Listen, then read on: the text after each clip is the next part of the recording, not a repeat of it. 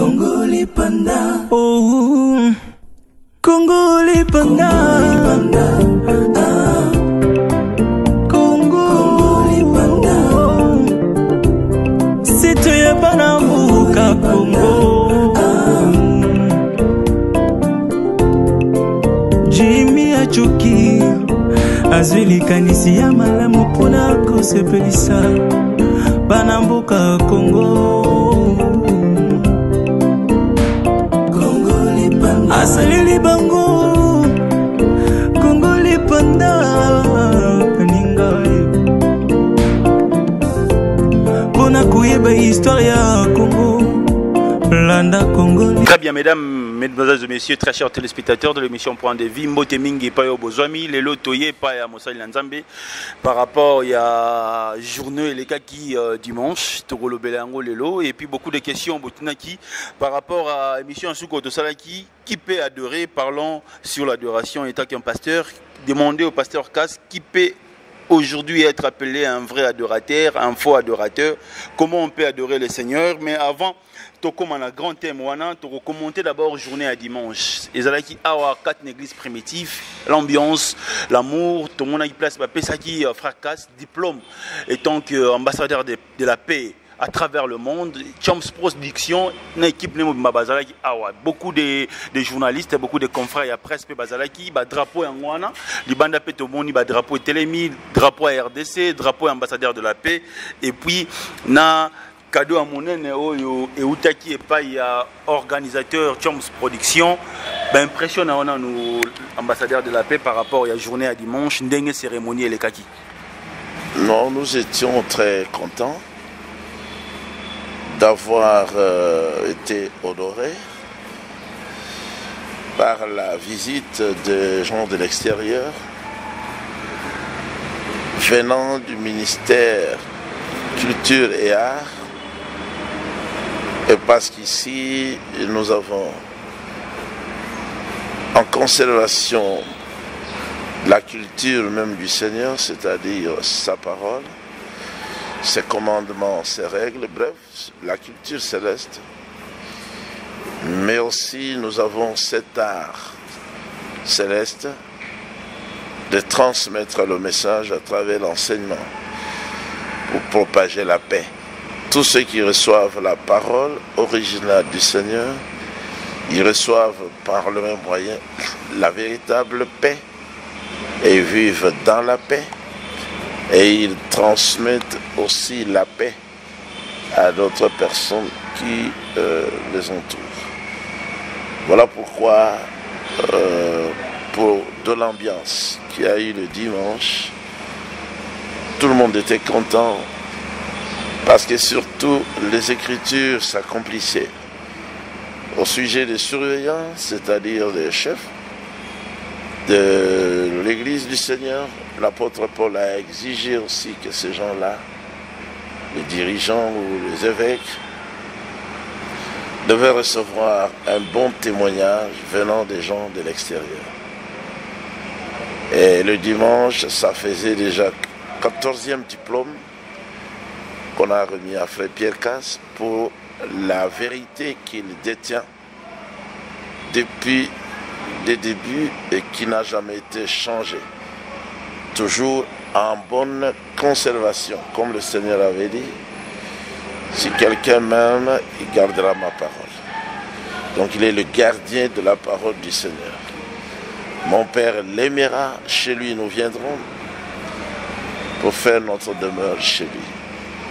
Donc voilà ce qui m'a toujours encouragé, fortifié.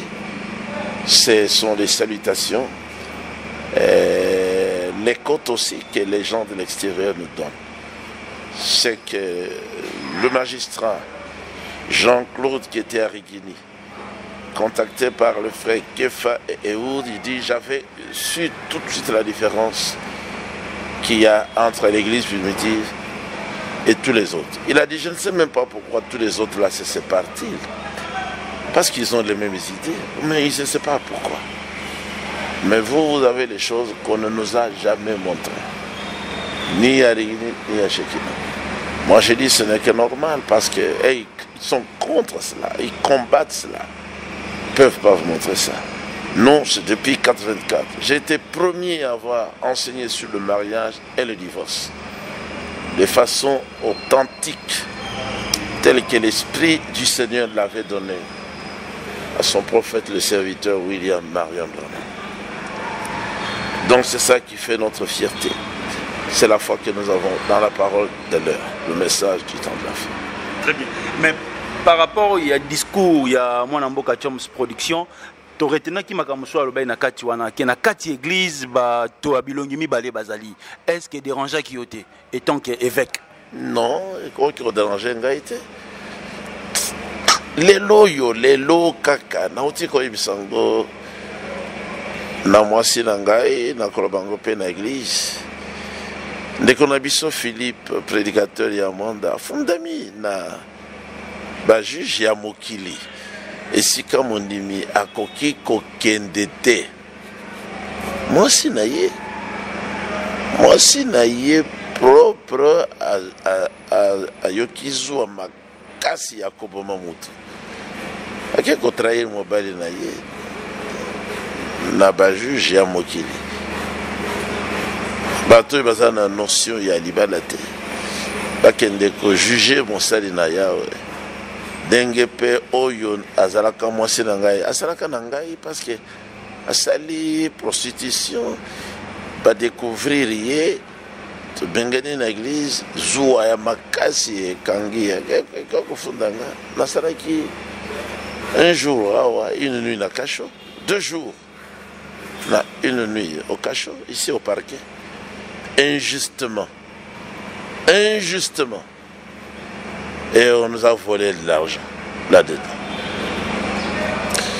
L'église va pesaki.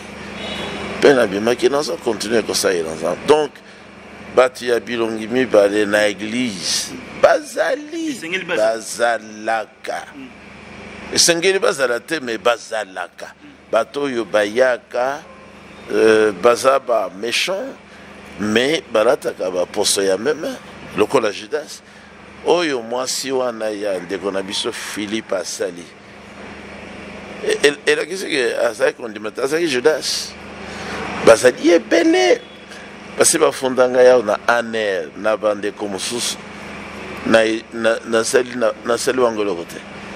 Bayoki kaka zuwa parceke na korige matei na bango balingaki ekɔta na eglize natelemeli bango na kimia nyonso nalakisi bango bozali na erreur bakimi ya église bake kofundaka na a- aner. Nasalaki mpe na aner kuna toute une journée. Nasali eloko te. Babotoli ngai telefone babotoli ngai montre. Ah, mo, mo, o- chef wana ayebisi garçon wana azali kobrutalize ngai. Keba na foudre ya nzambe. Moto wana azali mosali na nzambe. Batikaki ngai ntango namekaki ko- koverifie sante ya bato mibale wana bazali kosambisa ngai na aner. Bayebisi ngai te aron akufaki. Abelaki nini? Balobi toyebi te tomonaki kaka nzoto na ye ezovimba ezovimba mpe akufi kaka nsima ya mwa ntango moke. Baye bafundaka ngai na aner bakabwani bango moko biteni biteni. Moko na bango akufi. Oyo azali kote na ngai traître. Akufi mosusu. Mwasi na ye akufi atikali monzemba. Ti lelo oyo. C'est comme ça. Batraître bazali. C'est un péché ou ce n'est pas un péché lorsqu'un serviteur de Dieu est présenté devant la loi. Injustement. c'est un péché. Parce que c'est devant lui que tout le monde devait venir avec des problèmes. C'est l'homme de Dieu qui a la véritable loi la véritable justice divine. C'est David qui jugeait. C'est Salomon qui jugeait. Ce sont les rois en- Israël qui, qui jugeaient. C'était eux les hommes justes les hommes de la justice. Maintenant, quand on présente, comme on avait présenté le Seigneur Yeshua, serviteur de Yahweh Elohim, devant Pilate qui ne connaissait rien, oui, Pilate, il avait condamné justement, en demandant l'eau pour laver les mains. En matière des choses spirituelles, Ce n'est pas l'eau de la source ici, ce n'est pas l'eau du fleuve de la régie des eaux qui peut enlever votre culpabilité. Il faut la repentance reconnue, il faut la confession sincère et demander pardon pour réparer la faute. À part ça, vous pouvez dire, euh, je lave mes mains, je lave mes mains. Comme une femme qui, qui me critiquait ou hein, avec laquelle euh, mes épouses étaient aux prises et tout ça pour des choses mauvaises, c'est-à-dire pour les critiques des femmes. J'envoie mes épouses auprès d'elle, mais elle n'a fait que dire, je lave mes mains, je lave mes mains. Elle avait les mains à l'aide de quel savon, on ne sait pas. Merci l'homme de Dieu. Aujourd'hui, on va parler de l'adoration. Il y a eu beaucoup de questions que les téléspectateurs ont posées par rapport à l'émission passée. Et que pasteur, l'adoration, c'est quoi, pasteur Cass? Comment vous pouvez aujourd'hui définir l'adoration? L'adoration, c'est une façon de vénérer le Seigneur,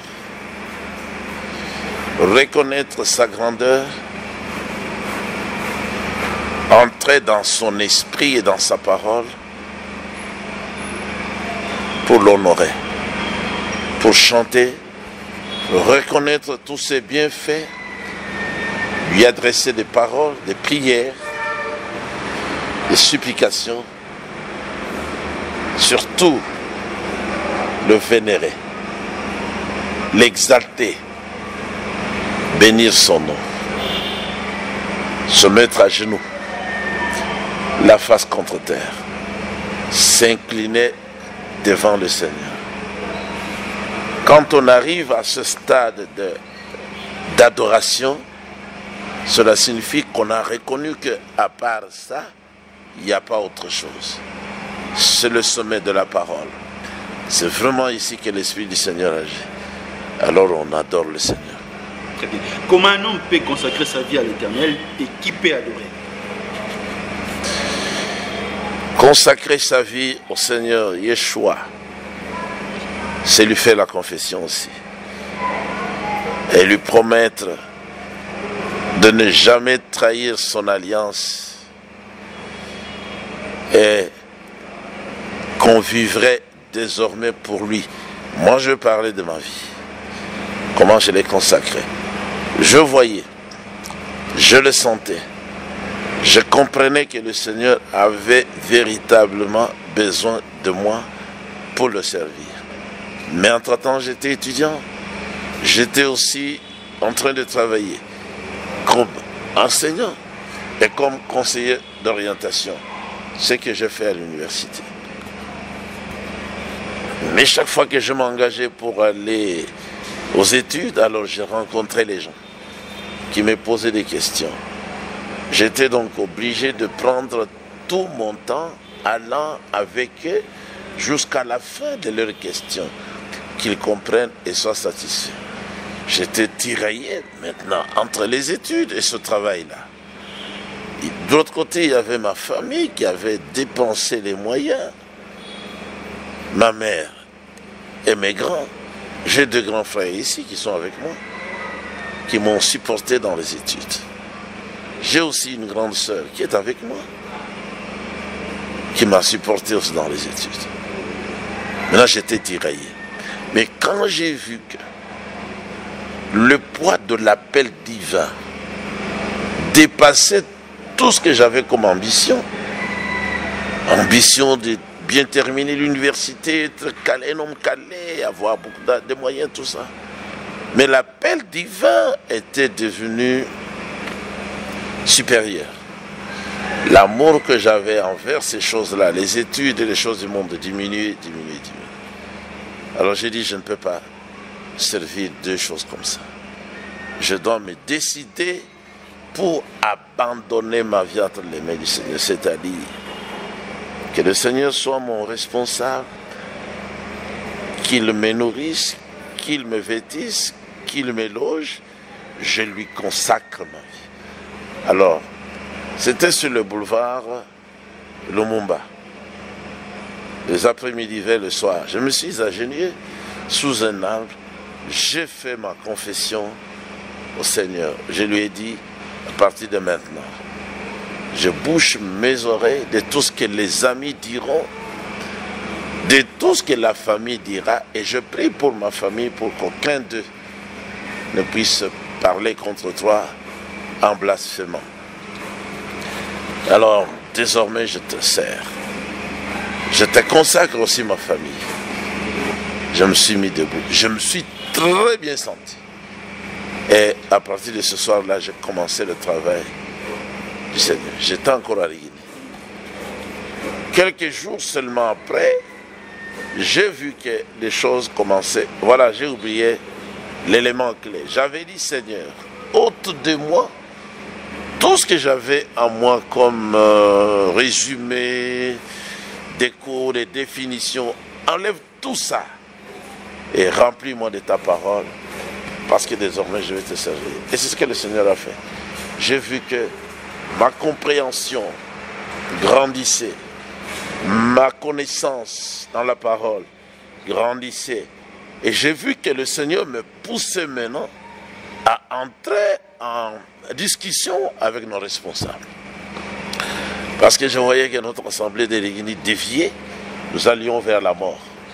C'était arrivé à moi de les constater. Je l'ai dit aussi à ceux qui étaient mes amis.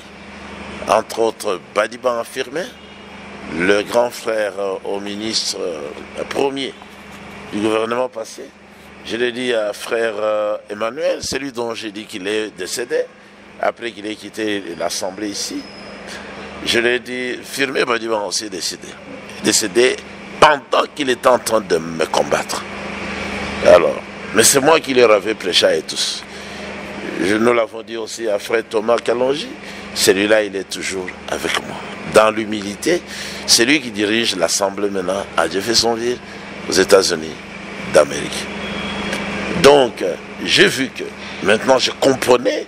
Et quand j'étais aux prises avec les responsables, les Barouti, Mali, les Moukeba, tous les responsables qui étaient à Kalumbu, tous, ils avaient remarqué que non, ce frère a un appel.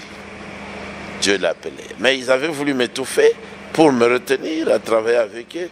Entre-temps, je voyais qu'ils n'avaient pas l'amour de la vérité. Ils faisaient la politique. Nous leur avions accusé sur quatre points. La pure parole, ils n'avaient pas. Les prédicateurs n'étaient pas nés de nouveau. Ils faisaient la politique religieuse. Et puis ils étaient contre le ministère d'Evarfan, qui était notre père à nous tous. Finalement, Kalumbu reconnaît que nous avions raison et qu'ils avaient tort. Barout y avait même voulu se battre avec le frère Ngoma qui était le numéro 2 après Mukuna. Toujours à cause de ce qu'on leur avait dit. Finalement, ils se sont entendus pour nous exclure des réunions décembre 83. Depuis ce temps-là, nous sommes dans cette assemblée. Alors c'est comme ça que j'avais consacré ma vie au Seigneur jusqu'au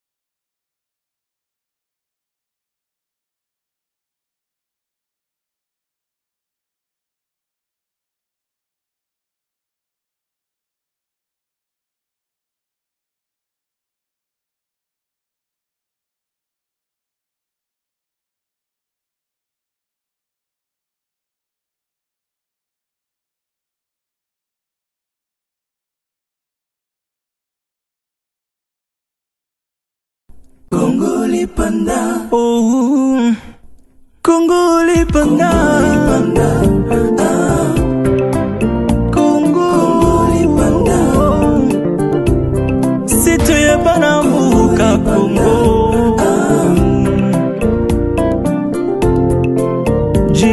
acuki azwi likanisi ya malamu mpona kosepelisa bana mboka kongo asaleli bango kongo lipanda peninga. Mpona koyeba histware ya kongo landa kongo